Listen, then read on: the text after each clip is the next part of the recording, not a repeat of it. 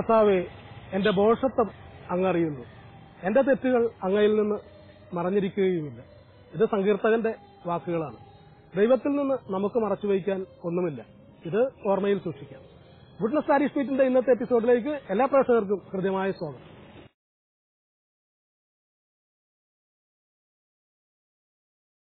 Goodness sari സ്പീറ്റിന്റെ ഇന്നത്തെ എപ്പിസോഡിൽ നാം പരിചയപ്പെടുന്നത് എറണാകുളം അങ്കമാലി അതിരൂപതയിലെ തലയോലപ്പറമ്പ് സെന്റ് ജോർജ് ദേവാലയം.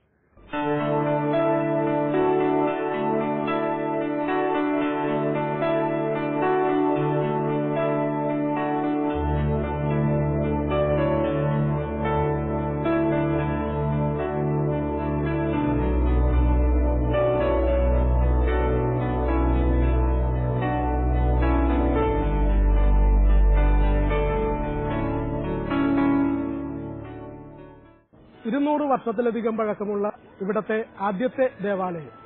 ഒരു കുരിശുപള്ളിയായിട്ടാണ് സ്ഥാപിതമാകുന്നത് ആയിരത്തി എണ്ണൂറ്റി പതിനഞ്ചിൽ. കടുത്തുരുത്തി പള്ളിയിൽ നിന്ന് വൈദികരെത്തിയാണ് അക്കാലത്ത് മതപരമായ കാര്യങ്ങൾ ഇവിടെ നിർവഹിച്ചു പോകുന്നത്. ആയിരത്തി എണ്ണൂറ്റി തൊണ്ണൂറ്റഞ്ചിൽ ഈ ദേവാലയം ചങ്ങനാശ്ശേരി അതിരൂപതയിലെ ഒരു പള്ളിയായി ഉയർത്തപ്പെടുകയും വിശുദ്ധ ഗീവർഗീസിന്റെ നാമധേയത്തിൽ സ്ഥാപിതമായ ഈ ദേവാലയം പിന്നീട് ആയിരത്തി തൊള്ളായിരത്തി മുപ്പത്തി നാലിൽ എറണാകുളം അങ്കമാലി അതിരൂപതയുടെ ഭാഗമായി തീരുകയും ചെയ്തു. വിശ്വാസ തീഷ്ണതയിൽ മുപ്പത്തി ഒന്ന് കുടുംബങ്ങളോടെ ആരംഭിച്ച ഈ ദേവാലയത്തിൽ ഇന്ന് ആയിരത്തിലധികം ഇടവക കുടുംബങ്ങളാണുള്ളത്. ഇന്ന് കാണുന്ന ദേവാലയം ആയിരത്തി തൊള്ളായിരത്തി എഴുപത്തിരണ്ട് ഡിസംബർ മാസം മുപ്പത്തിയൊന്നാം തീയതി കൂരാശൽ ചെയ്ത് ഇടവക സമൂഹത്തിനായി സമർപ്പിച്ചത് കാലം ചെയ്ത അത്യുന്നത കർദിനാൾ അഭിമന്യ ജോസഫ് പാറേക്കാട്ടിൽ പിതാവാണ്. വിശുദ്ധ ഗീവർഗീസിന്റെ നാമധേയത്തിലുള്ള നിത്യസഹായ മാതാവിന്റെ വലിയ അത്ഭുത സിദ്ധിയുള്ള ഈ ദേവാലയത്തിൽ നമുക്ക് പ്രവേശിക്കാം. കൂടുതൽ കാര്യങ്ങൾ തിരിച്ചറിയാം. പ്രാർത്ഥനയുടെ അരൂപി നിറഞ്ഞു നിൽക്കുന്ന ദേവാലയത്തിന്റെ അൾത്താരയുടെ മദ്ബഹയുടെ മുൻപിലാണ് ഞാനിപ്പോൾ നിൽക്കുന്നത്. ദേവാലയത്തിനകത്ത് വിശ്വാസ പരിശീലനത്തിലെ വധബോധനത്തിലെ കുട്ടികൾ പ്രാർത്ഥനാനിരതരായി ഇരിക്കുന്നത് എനിക്ക് കാണാൻ കഴിയുന്നു. മദ്ബഹയുടെ നടുവിൽ നമുക്ക് കാണാൻ കഴിയുന്നത് കാൽവരിയുടെ പശ്ചാത്തലത്തിൽ ഈശോയുടെ ക്രൂശിത രൂപവും അതിന് താഴെ നിത്യ സഹായമാതാവിന്റെ മനോഹരമായ രൂപവും മറുഭാഗങ്ങളിലായി ദേവാലയത്തിന്റെ സ്വർഗീയ മധ്യസ്ഥനായ വിശുദ്ധ ഗീവർഗീസ് സഹദായുടെയും വിശുദ്ധ തോമാസ് ലിഹായുടെയും മറ്റ് വിശുദ്ധരുടെയും തിരുസ്വരൂപങ്ങൾ വണക്കത്തിനായി ദേവാലയത്തിൽ പ്രതിഷ്ഠിച്ചിരിക്കുന്നു. മറ്റൊരു വലിയ പ്രത്യേകത മറുഭാഗത്ത് മാതാവിന്റെ വളരെ മനോഹരമായ അത്ഭുത തിരുസ്വരൂപം. ഡൊർമീസിയോ മരിയ എന്ന രൂപം ഇവിടെ സ്ഥാപിച്ചിരിക്കുന്നു.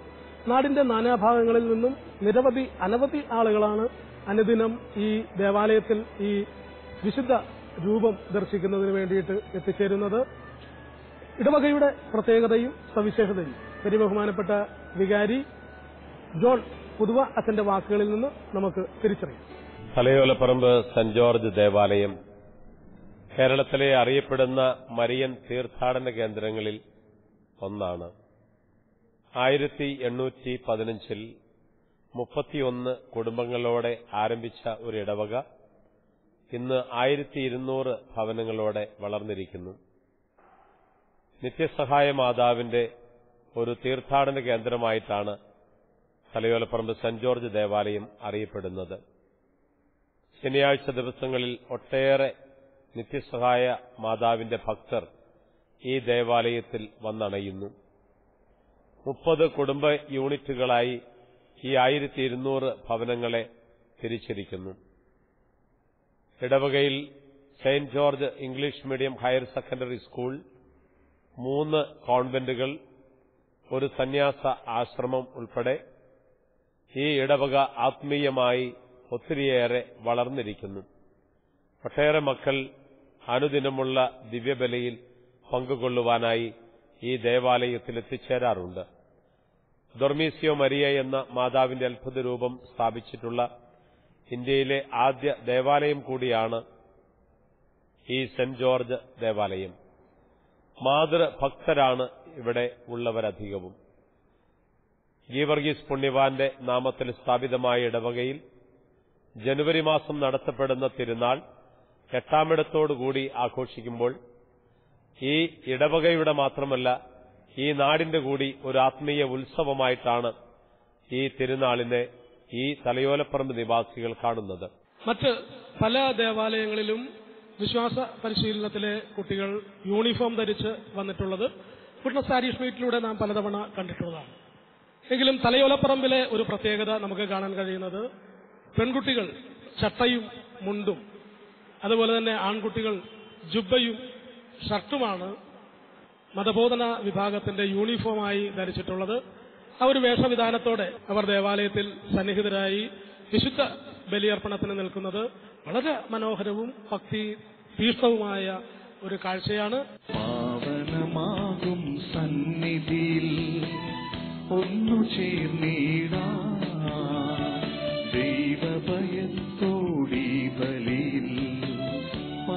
ചേർന്നിടാ. നിർമ്മലമാനസരാ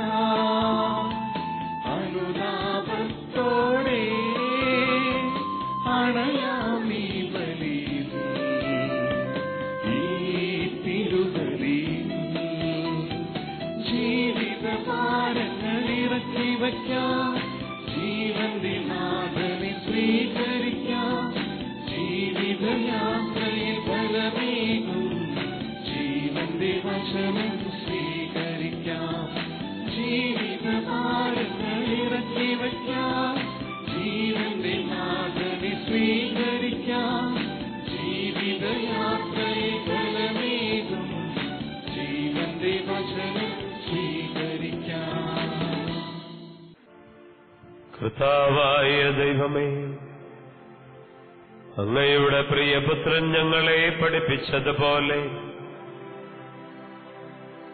അവിടുത്തെ പീഡാനുഭവത്തിന്റെ സ്മരണ ഞങ്ങൾ ആചരിക്കുന്നു. ഏൽപ്പിച്ച് കൊടുക്കപ്പെട്ട രാത്രിയിൽ ഈശോ നിർമ്മലമായ തൃക്കരങ്ങളിൽ അപ്പമെടുത്ത് സ്വർഗത്തിലേക്ക് ആരാധ്യനായ പിതാവേ അങ്ങയുടെ പക്കലേക്ക് കണ്ണുകൾ ഉയർത്തി വാഴ്ത്തി വിഭജിച്ച് ശിഷ്യന്മാർക്ക് നൽകിക്കൊണ്ടരുൾ ചെയ്തു. ഇത് പാപമോചനത്തിനായി നിങ്ങൾക്കു വേണ്ടി വിഭജിക്കപ്പെടുന്ന എന്റെ ശരീരമാകുന്നു. നിങ്ങളെല്ലാവരും ഇതിൽ നിന്ന് വാങ്ങി ഭക്ഷിക്കുവിൻ.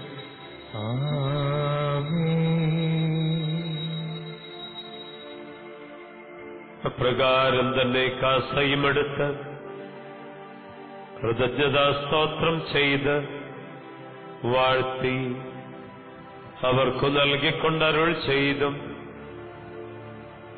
ഇത് പാപമോചനത്തിനായി അനേകർക്കു വേണ്ടി ചിന്തപ്പെടുന്ന പുതിയ ഉടമ്പടിയിലെ എന്റെ രക്തമാകുന്നു.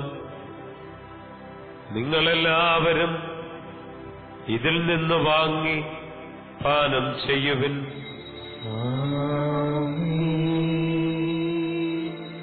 ഞാൻ ഈ ചെയ്തത് നിങ്ങൾ എന്റെ നാമത്തിൽ ഒന്നിച്ചു കൂടുമ്പോൾ എന്റെ ഓർമ്മയ്ക്കായി ചെയ്യുവിൻ. തലയോളപ്പറമ്പ് സെന്റ് ജോർജ് ദേവാലയത്തിൽ ദിവ്യബലിക്ക് ശേഷം ഇടവക സമൂഹം മുഴുവൻ ദേവാലയത്തിന് മുന്നിൽ ഒത്തു ചേർന്ന് നിൽക്കുകയാണ് ഗുഡ്നസ് പാരീഷ് മീറ്റുമായിട്ട് സഹകരിക്കുവാനായിട്ട്. സുഖമാണോ എല്ലാവർക്കും? സുഖമാണോ? ഒരു കുഞ്ഞു വാവയാണ് ഞാനിവിടെ ആദ്യം കാണുന്നത്. കുഞ്ഞുവാവയുടെ പേര് പറയാൻ കുഞ്ഞുവാവ ആയിട്ടില്ല അല്ലേ? പറഞ്ഞ പേര്? ജുവൽ. നല്ല പേരാണ്. ദേവാലയത്തിന്റെ സ്വർഗീയ മധ്യസ്ഥനായ വിശുദ്ധ ഗീവർഗീസ് സഹദായുടെയും നിത്യസഹായ മാതാവിന്റെയും നല്ല അനുഗ്രഹം ഉണ്ടാവട്ടെ. അപ്പൊ എല്ലാവർക്കും സുഖം എന്ന് കരുതുന്നു. സുഖമല്ലേ? എങ്ങനെയുണ്ടായിരുന്നു ദിവ്യബലി? നല്ല ദിവ്യബലിയായിരുന്നു. ഏ? നല്ല അനുഭവമുള്ള ദിവ്യബലിയായിരുന്നു. ആ ദിവ്യബലിയുടെ തീഷ്ണതയിലാണ് തലയോലപ്പറമ്പ് സെന്റ് ജോർജ് ദേവാലയത്തിലെ ഇടവക സമൂഹം മുഴുവൻ ഇവിടെ ഒത്തുചേർന്നിരിക്കുന്നത്. നിങ്ങളോട് ഞാൻ ഒരു ചെറിയ ചോദ്യം ചോദിക്കാൻ പോവാണ്. നിങ്ങളോട് ഞാൻ ഈ ചോദ്യം ചോദിക്കുമ്പോൾ നിങ്ങൾ ചോദ്യം ചോദിച്ച് ഉത്തരം മുട്ടിക്കുന്നതിന് വേണ്ടിയിട്ടല്ല ഈ ചോദ്യം ചോദിക്കുന്നത്. നിങ്ങൾക്ക് അറിയാവുന്ന കാര്യങ്ങൾ ലോകത്തിലെ മറ്റ് പല ആളുകൾക്കും അറിയില്ലാത്തതുകൊണ്ട് അവർക്ക് അറിവ് നൽകുന്നതിനാണ് ഈ ചോദ്യം ചോദിക്കുന്നത്. റെഡിയല്ലേ? ഒന്ന് ഉറച്ചു പറഞ്ഞേ. റെഡിയാണ്. റെഡിയാണ്. വളരെ ഊർജത്തിലാണ് ഇവർ നിൽക്കുന്നത്. ചോദ്യത്തിന് ഉത്തരമറിയാവുന്നവർ കൈ ഉയർത്തിയാൽ മാത്രം മതി. ആരും വിളിച്ചു പറയരുത്. ചോദിക്കട്ടെ? ചോദിക്കാം. ചോദിക്കാം എന്നാണ് പറയുന്നത്. അതുകൊണ്ട് ചോദ്യം ഇതാണ്. കൊവേന്ത കേട്ടിട്ടുണ്ടോ? ക്രൈസ്തവ നാമങ്ങളുടെ അർത്ഥത്തിൽ നിന്നാണ് ഞാൻ ചോദിക്കുന്നത്. കൊവേന്ത എന്ന് ഇവർ കേട്ടിരിക്കുന്നു. ചോദ്യം ഇതാണ്. കൊവേന്ത എന്ന വാക്കിന്റെ അർത്ഥം എന്താണ്? കൊവേന്ത എന്ന വാക്കിന്റെ അർത്ഥം എന്താണെന്നാണ് തലയോലപ്പറമ്പിലെ ഈ സമൂഹത്തോടുള്ള എന്റെ ചോദ്യം. ഇവിടെ ഒരു ചേട്ടൻ കൈ ഉയർത്തി നിൽക്കുന്നുണ്ട്. അത് നോക്കിയിട്ട് നമുക്ക് അടുത്ത ഈ ഉത്തരം പറയുന്നതിന് മുൻപ് ഇയാളുടെ പേര് എന്ന് പറഞ്ഞു. ജോയി ജോൺ. ജോയി ജോൺ ഈ കൈ താഴ്ത്താം. ഉത്തരം? ആശ്രമം. കൊവേന്ത എന്ന വാക്കിന്റെ അർത്ഥം ആശ്രമം എന്നാണ് ജോയി ചേട്ടൻ പറയുന്നത് അത് ശരിയാകും. ആശ്രമം എന്നുള്ള ഉത്തരം ശരിയാണോ ചേച്ചിമാരെ? ശരിയാണോ? എന്നിട്ട് നിങ്ങൾ എന്താ ആദ്യം പറയാഞ്ഞ്? കൊവേന്ത എന്ന വാക്കിന്റെ അർത്ഥം ആശ്രമം എന്നാണ് ഇദ്ദേഹം പറയുന്നത്. അവിടെ നിൽക്കുന്ന സ്ത്രീകൾ കൈ ഉയർത്ത ഉയർത്തിയില്ലെങ്കിൽ പോലും അവരിപ്പോൾ കോറസായിട്ട് പറയുന്നു അത് ശരിയാണെന്ന്. എങ്കിൽ പിന്നെ ആ ഉത്തരത്തിൽ മാറ്റമൊന്നും വേണ്ട. വളരെ കൃത്യമായ ഉത്തരമാണ് ജോയി ചേട്ടൻ പറഞ്ഞത്. യേശുവിന്റെ നാമം എന്ന പുസ്തകവും കുട്ടസാരി സ്മിത്തിന്റെ സർട്ടിഫിക്കറ്റും വളരെ സ്നേഹത്തോടെ ഞാൻ കൈമാറുന്നു. അപരിചിത വിശുദ്ധർ എന്ന പുസ്തകവും ഗുഡ്നസ് പാരി സ്മിത്തിന്റെ സർട്ടിഫിക്കറ്റുമാണ് എന്റെ കയ്യിലിരിക്കുന്നത്. വെള്ളയുടുപ്പിട്ട് മനോഹരിയായി ഒരു കുഞ്ഞുവാവ പേരെന്ന് പറയാം മിച്ചി കെയ്റ്റ്ലിൻ കെയ്റ്റ്ലിന് എല്ലാ അനുഗ്രഹവും ഉണ്ടാകട്ടെ. എന്റെ ചോദ്യം ഇതാണ്. റെഡിയാണോ? റെഡിയാണ്? ഇവർ വളരെ ആവേശഭരിതരാണ്. ചോദ്യം ഇതാണ്. ദുക്രാന. നമ്മൾ ദുക്രാന തിരുനാൾ ആഘോഷിക്കാറുണ്ട് ജൂലൈ മൂന്നാം തീയതി. ദുക്രാന എന്ന വാക്കിന്റെ അർത്ഥം എന്താണെന്ന് എന്റെ ചോദ്യം പൂർത്തിയാവും മുമ്പ്. ഇവിടെ വലിയ ആഘോഷത്തിലാണ്. ഒരുപാട് ആളുകളാണ് ദുക്രാന എന്ന വാക്കിന്റെ അർത്ഥം പറയുന്നതിന് വേണ്ടി കൈ ഉയർത്തിയിട്ടുള്ളത്. എന്നാൽ ആദ്യത്തെ കൈ ഉയർത്തിയത് ഇവിടെ നിൽക്കുന്ന ഈ ചേച്ചിയാണ്. എന്റെ ചോദ്യം ദുക്രാന എന്ന് കേട്ടപ്പോൾ തന്നെ ആ റാ പൂർത്തിയാകുന്നതിന് മുമ്പ് തന്നെ കൈ ഉയർത്തി. എന്താണ് പേര്? എന്തോന്ന്? ഓർമ്മ തിരുനാൾ. ഓർമ്മ തിരുനാൾ എന്നാണ് ഇവിടെ പറയുന്ന ഉത്തരം. അതിന് മറ്റൊരു പേരുണ്ട്. ആ പേരാണ് കൃത്യമായും വിറ്റ്നസ് പാരീസ് മീറ്റിന് അറിയേണ്ടത്. രണ്ടാമത്തെ കൈ ഉയർന്നത് ഇവിടെയായിരുന്നു. ഓർമ്മ തിരുനാൾ. ഓർമ്മ തിരുനാൾ തന്നെയാണ് പക്ഷെ അതിന് മറ്റൊരു പേരാണ് പറയുന്നത്. ഇവിടെ നമുക്ക് ഒന്ന് നോക്കാം. അനുസ്മരണം എന്ന് പറയുന്ന ഇയാളുടെ പേര്. ലൗലമ്മ ജോസ്. എന്തിനാണ് ആകുലപ്പെടുന്നത്? അനുസ്മരണം എന്നാണ് ഇവിടെ പറയുന്നത്. അവിടെ പറയുന്നത് മറ്റൊരു പേരാണ് ഓർമ്മ തിരുനാൾ എന്നാണ് പറയുന്നത്. ക്രൈസ്തവ നാമങ്ങളുടെ അർത്ഥത്തിൽ പറയുന്നത് അനുസ്മരണം എന്ന് തന്നെയാണ്. വളരെ കൃത്യമായ ഉത്തരമാണ് പറഞ്ഞത്. കുറ്റസ്ഥാരി സ്മിറ്റിന്റെ സർട്ടിഫിക്കറ്റും സമ്മാനവും വളരെ സ്നേഹത്തോടെ ഞാൻ കൈമാറുന്നു. മൂന്നാമത്തെ ചോദ്യം. ചേട്ടന്മാരോടാണ് എന്റെ ചോദ്യം. റെഡിയല്ലേ? ചോദ്യം ഇതാണ്. ദനഹ നമ്മളെ പള്ളിയകത്തൊക്കെ കാണാറുണ്ട്. ദനഹ കാലം. അല്ലേ? കാണാറില്ലേ? ചോദ്യം ഇതാണ്. ദനഹ എന്ന വാക്കിന്റെ അർത്ഥം എന്താ? ദനഹ എന്ന വാക്കിന്റെ അർത്ഥം എന്താണ്?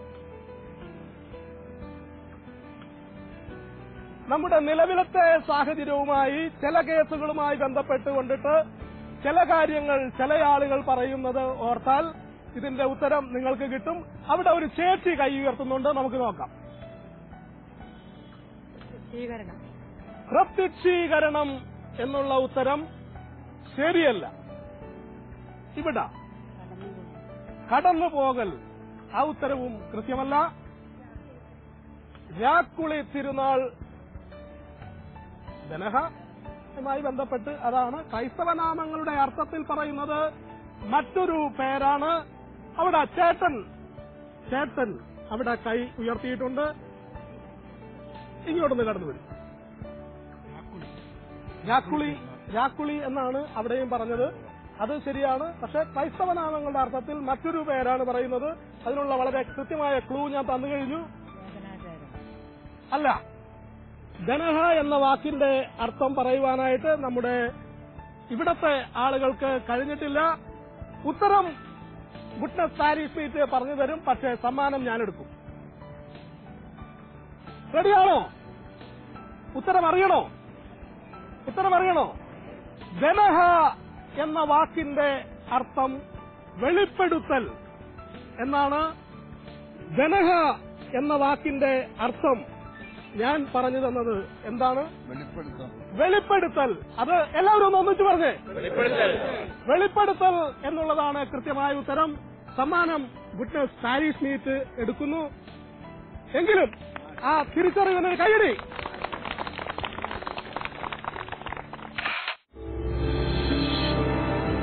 നാലാമത്തേതും അവസാനത്തേതുമായ ചോദ്യമാണ് ഞാൻ ചോദിക്കാൻ പോകുന്നത്. ഉത്തരം ആർക്ക് വേണമെങ്കിലും പറയാം. ചോദിക്കട്ടെ? നല്ല സുന്ദരന്മാരായ ചേട്ടന്മാർ പുറകിൽ മിണ്ടാതെ കൈയും കെട്ടി ഇങ്ങനെ വെച്ചുക ചോദ്യം ഇതാണ്. ഇപ്പോൾ നിങ്ങൾ ഒരു വിശുദ്ധ ബലി അർപ്പിച്ചു അല്ലേ? ഒരു വിശുദ്ധ ബലി അർപ്പിച്ചില്ലേ? കുർബാന കഴിഞ്ഞിട്ടല്ലേ വന്നു നിൽക്കുന്നത്? ചോദ്യം ഇതാണ്. കുർബാന. കുർബാന എന്ന വാക്കിന്റെ അർത്ഥം എന്താണ്? അവിടെ ആദ്യത്തെ കൈ ഉയർന്നു കഴിഞ്ഞു. രണ്ടാമത്തെ കൈ അപ്പുറത്തുണ്ട്. ആദ്യത്തെ കൈ ഉയർന്നത് ഇവിടെയാണ്. അർപ്പണം. അർപ്പണം എന്നാണ് ചേട്ടൻ പറയുന്ന പേര് ചേട്ടന്റെ പേര്. ജോസഫ് ചേട്ട കൈ താത്തു. കൃത്യമായ ഉത്തരം അർപ്പണം എന്ന് തന്നെയാണ് ജോസഫ് ചേട്ടന് ഗുഡ്നസ് സാരി സ്പീറ്റിന്റെ സമ്മാനം. വളരെ സ്നേഹത്തോടെ ഞാൻ കൈമാറുന്നു.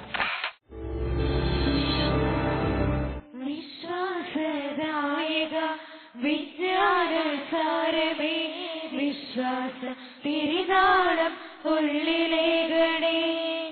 വിശ്വാസദായക വിജ്ഞാനസാരമേ വിശ്വാസ തിരുനാളം ഉള്ളിലേകണേ. വചനം പഠിക്കുവാൻ വചനം ജീവിത്തിടാൻ വചനം പകർന്നു രക്ഷ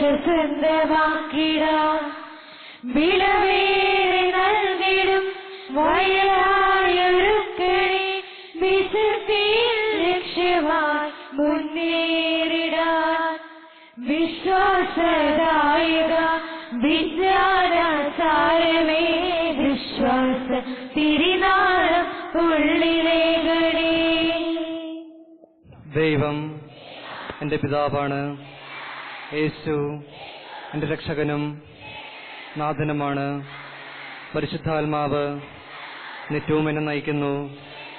ദൈവരാജ്യമാണ് എന്റെ ലക്ഷ്യം. തിരുസഭ എന്റെ മാതാവാണ്. കത്തോലിക്ക സഭയിൽ അംഗമായതിൽ ഞാൻ അഭിമാനിക്കുന്നു. സത്യത്തിൽ അടിയുറച്ചതും നീതിയിൽ സന്തോഷിക്കുന്നതും സ്നേഹത്തിൽ നിലനിൽക്കുന്നതുമായ ജീവിതം നയിക്കുവാൻ ഞാൻ ഒരുക്കമാണ് ഭാരതം എന്റെ ജന്മനാടാണ്. എല്ലാവരും എന്റെ സഹോദരി സഹോദരന്മാരാണ്.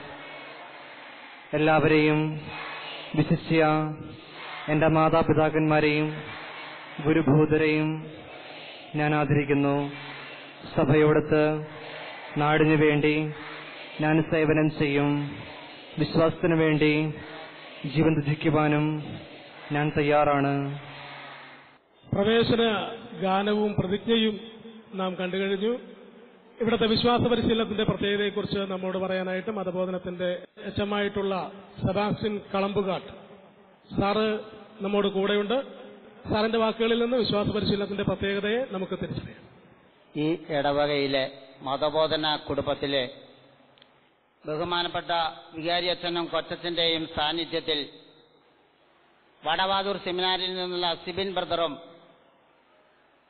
തെള്ളകം കപ്പൂച്ചിൻ സഭയിൽ നിന്നുള്ള ടിജോ ബ്രദറും ഉൾപ്പെടെ മുപ്പത്തിയൊന്ന് മത മതാധ്യാപകരാണ് ഉള്ളത്. നഴ്സറി ക്ലാസ് മുതൽ പന്ത്രണ്ടാം ക്ലാസ് വരെ രണ്ട് ഡിവിഷനുകളാണുള്ളത്. മൊത്തം ഇരുപത്തിയാറ് ക്ലാസുകളിലായി എഴുന്നൂറ് കുട്ടികൾ ഇവിടെ വിശ്വാസ പരിശീലനം നേടുന്നു എന്നുള്ളതാണ്.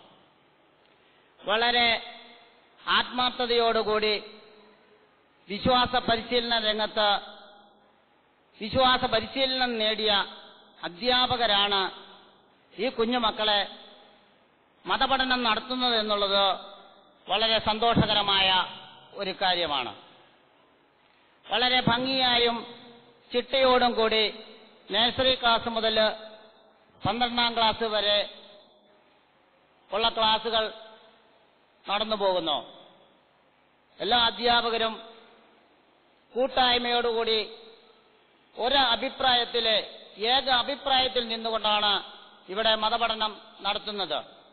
ഗുഡ്നസ് പാരീഷ് മീറ്റ് അതാത് ദേവാലയങ്ങളിൽ നിന്ന് വിശ്വാസ പരിശീലനത്തിൽ ഏർപ്പെട്ടിരിക്കുന്നതിൽ ഏറ്റവും നന്നായി ഇടപെടുന്ന ഒന്നോ രണ്ടോ കുട്ടികളെ തിരഞ്ഞെടുക്കുന്ന ഒരു പതിവുണ്ട്. നിങ്ങളുടെ ഈ ദേവാലയത്തിലും അങ്ങനെ രണ്ടുപേർ ഉണ്ടാവും എന്നാണ് ഞാൻ കരുതുന്നത്. എനിക്കറിയില്ല. ഗുഡ്നസ് സ്റ്റാറായി ആരെയാണ് തിരഞ്ഞെടുക്കാൻ പോകുന്നത്? അവരുടെ പേര് സാർന്ന് പറയൂ. സ്കൂൾ ലീഡറായിരിക്കുന്ന അലസ് ചാക്കോച്ചൻ കണ്ണങ്കേരിയും ബിബിത ജോസഫ് പുത്തമ്പറമ്പിൽ ആണ് വിളിക്കുന്നത്. അലക്സ് ചാക്കോ. ഇവിടെ ഉണ്ടോ? ഒന്ന് കൈ ഉയർത്തോ. അലക്സ് ചാക്കോ അലക്സ് ചാക്കോ ഇവിടെയുണ്ട്. ബിബിത ബിബിത എവിടെയുണ്ട് ബിബിത ഇവിടെ ഉണ്ട് അവിടെ കൈ ഉയർത്തി കാണിക്കുന്നുണ്ട്. രണ്ടുപേരും മദ്ബഹയുടെ മുന്നിലേക്ക് കടന്നു വരുവാൻ അഭ്യർത്ഥിക്കുന്നു. രണ്ടുപേരും വരൂ. ഒന്നിച്ചു വരൂ. നല്ലൊരു കയ്യടിയോടുകൂടെ നമുക്ക് അവരെ മദ്ബഹയുടെ മുന്നിലേക്ക് സ്വാഗതം ചെയ്യാം.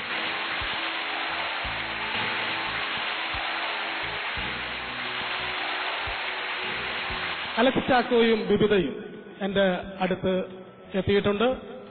നമുക്ക് ഇവരുടെ മാതാപിതാക്കൾ സഹോദരങ്ങൾ ഇവരുടെ പഠനം ഒക്കെ നമുക്കൊന്ന് തിരിച്ചറിയാം. ഇവിടെ പാരീഷ് സ്മിത്തിന്റെ പ്രേക്ഷകർക്ക് അത് അറിയാൻ താല്പര്യമുണ്ട്. അലക്സ് ചാക്കോ എന്റെ അപ്പച്ചന്റെ പേര് ചാക്കോച്ചൻ കെ വി. അമ്മയുടെ പേര് അൻസി. എനിക്കൊരു സഹോദരിയുണ്ട്. ഞാൻ പ്ലസ് ടു വിദ്യാർത്ഥിയാണ്. ബിബിതയുടെ മാതാപിതാക്കൾ സഹോദരങ്ങൾ നമുക്ക് ചോദിക്കാം. എന്റെ വീട്ടുപേര് പുത്തൻ പറമ്പിൽ പപ്പയുടെ പേര് ജോസഫ് പി ജെ എല്ലാവരും ബേബി ചേട്ടൻ എന്ന് വിളിക്കും. അമ്മയുടെ പേര് ജിസി ഞാൻ ഒരു മകളാണ്. രണ്ട് മിടുക്കരായ കൂട്ടുകാരെയാണ് നമുക്ക് തന്നിട്ടുള്ളത്. അവരുടെ മാതാപിതാക്കൾക്ക് ഒരു കയ്യടി നമുക്ക് കൊടുക്കണ്ടേ? നല്ലൊരു കയ്യടി കൊടുത്തേ. ഇവർക്ക് സമ്മാനം നൽകുന്നതിന് വേണ്ടിയിട്ട് നമ്മുടെ ദേവാലയത്തിന്റെ പെരിയ ബഹുമാനപ്പെട്ട വികാരി ജോൺ പുതുവ അച്ഛനെ വളരെ സ്നേഹത്തോടെ മദ്ബഹയുടെ മുന്നിലേക്ക് സ്വാഗതം നമ്മുടെ ദേവാലയത്തിന്റെ പ്രിയ ബഹുമാനപ്പെട്ട വികാരി പുതുവ അച്ഛനെ വളരെ സ്നേഹത്തോടെ നമുക്ക് മദ്ബഹയുടെ മുന്നിലേക്ക് ഹർഷാരവത്തോടെ കയ്യടികളോടുകൂടെ സ്വാഗതം ചെയ്യും. അലക്സിനുള്ള സമ്മാനമാണ് എന്റെ കയ്യിലിരിക്കുന്നത്. ഗുഡ്നസ് പാരീഷ് മീറ്റിന്റെ സർട്ടിഫിക്കറ്റും ദേവാലയത്തിന്റെ സ്വർഗീയ മധ്യസ്ഥനായ വിശുദ്ധ ഗീവർഗി സഹദായുടെ ജീവചരിത്രവും ഒരു ജപമാലയുമാണ്. ഞാനത് വികാരിയച്ഛന് കൈമാറുന്നു. അച്ഛൻ അലക്സൻ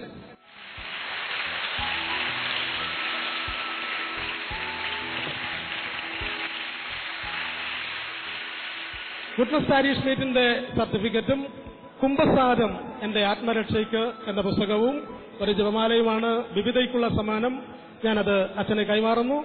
അച്ഛൻ വിവിധയ്ക്ക്.